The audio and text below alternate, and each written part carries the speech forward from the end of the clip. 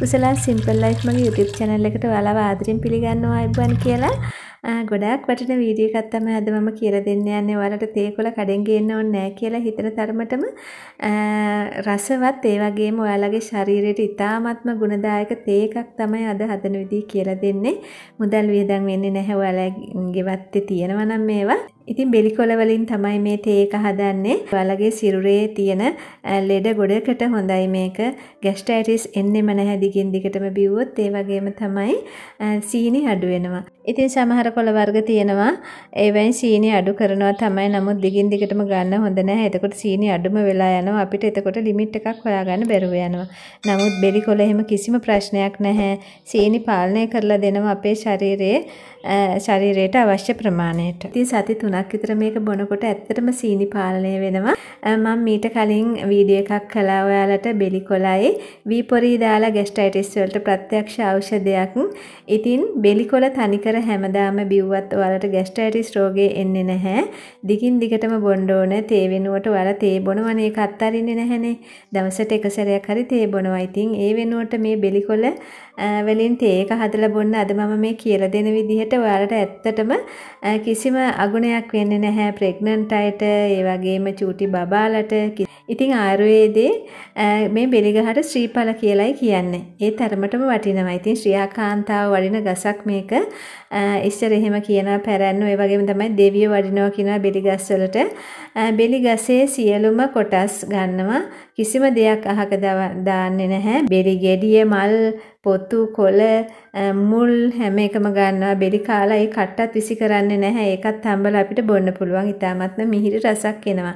ඉතින් මේ අපේ ආහාර ජීර්ණ පද්ධතියට මේ බෙලි තරම් වටින ඖෂධයක් වෙන නැති තරම්. බෙලි කොලත් ඒ වගේ බෙලි ගෙඩි වගේම තමයි. ඒ වගේම තමයි අපේ ශරීරයේ තියෙන ඔය කැසිලි වලට දද වලට ඒ වගේම ආහාර විෂ වීම වලට ඉතාමත්ම හොඳයි ඒ වගේම තමයි දියවැඩියාවට ගොඩාක් හොඳයි කියලා මම ඉස්සෙල්ලත් කිව්වා ඉතින් හැමදාම මේක බොන්න පුරුදු වෙන්න ඇත්තටම හොඳයි ඔයාලගේ ඇඟ සැහැල්ලු වෙනවා බඩ පුරවා දැමීම නැති වෙනවා.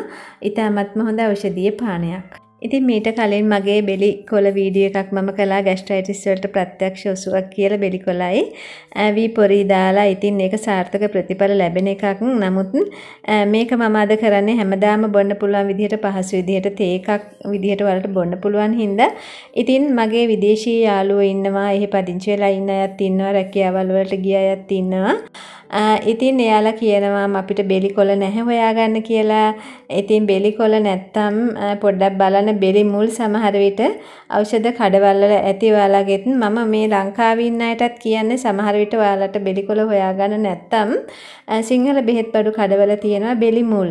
ඉතින් මේ බෙලි කොළ වගේම ඊටත් වඩා ගුණයි බෙලි මුල් හොයාගන්න තියෙනවා නම් ඉතින් බෙලි මුල් තියෙනවා බෙහෙත් බඩු කඩවල ඕන තරම් ගන්න. ඉතින් බෙලි මුල් අරගෙන වලට තම්බලා තේ එකක් විදිහට හදා ගන්නත් පුළුවන්. පුළුවන්. විදේශීය රටවල් වල ඉන්න හිත මිතුරන්ට මම කියන්නේ ඔයාලා ලංකාවෙන් කෙනෙක් එනවා නම් අනිවාර්යෙන් බෙලි මල් ටිකක් හරි මුල් ටිකක් හරි ගෙන්න ගන්න. මොකද බෙලි කොළ වේරුණාම එච්චරම සාර්ථක නැහැ. අමුවෙන් තමයි ගන්න ඕනේ. ඉතින් ඔයාලාට කල් තියා ගන්න පුළුවන් විදිහට බෙලි මුල් ටිකක් වේරලා ඒ වගේම බෙලි මලුත් කමක් නැහැ නැතිම නම්. ඉතින් ඒ දෙක ගෙන්න ගන්න පොඩ්ඩක් හොයලා බලන්න සමහර විට ඇති බෙලි මුල් ඔයාලගේ රටවල් වලත්.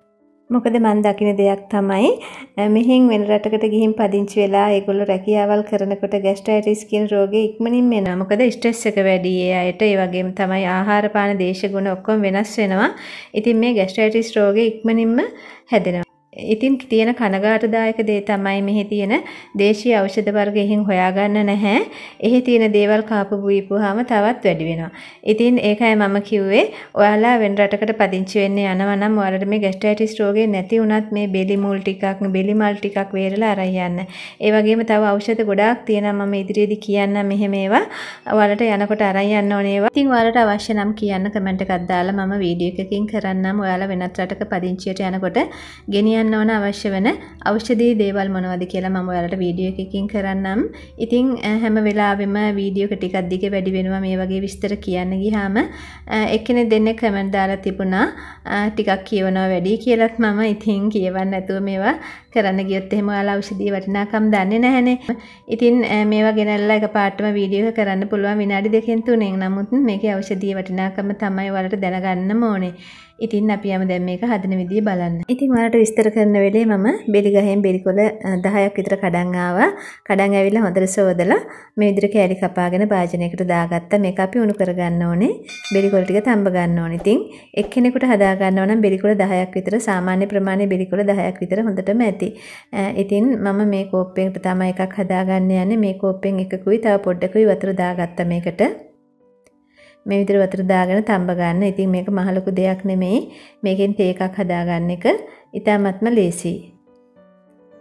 ඉතින් මේ විදිහට ලිපේ තියලා මේක තඹ ගන්න විනාඩි 3ක් 4ක් ලස්සන කහ පාටක් එනවා බිලිකොල හොඳට තැඹුණාම.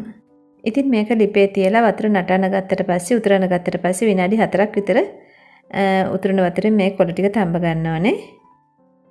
ඊට පස්සේ මම මේක පෙරා ගන්නවා. මේ විදිහට පෙරාගෙන කෝප්පෙට දාගන්නයි යන්නේ. ඉතින් මේක හදන්න ලොකු වෙලාවක් යන්නෙත් නැහැ. වලට බෙලි ගහක් තියෙනවා නම් ඉතාමත් ප්‍රයෝජනයි. ඉතින් නැත්තම් අදම හිටව ගන්න වල බෙලි පැලයක් වත්තේ. ඉතින් ඔන්න දැන් සූදානම් අපේ තේ එක. ඔයාලට ඇත්තටම තේ බොන්න ඕන නැහැ. මේකේ තියෙන රසය හොඳටම ප්‍රමාණවත්.